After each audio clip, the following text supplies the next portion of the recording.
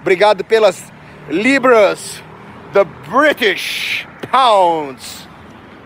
God save our noble queen, God save our mighty queen, God save the queen. Brexit na veia.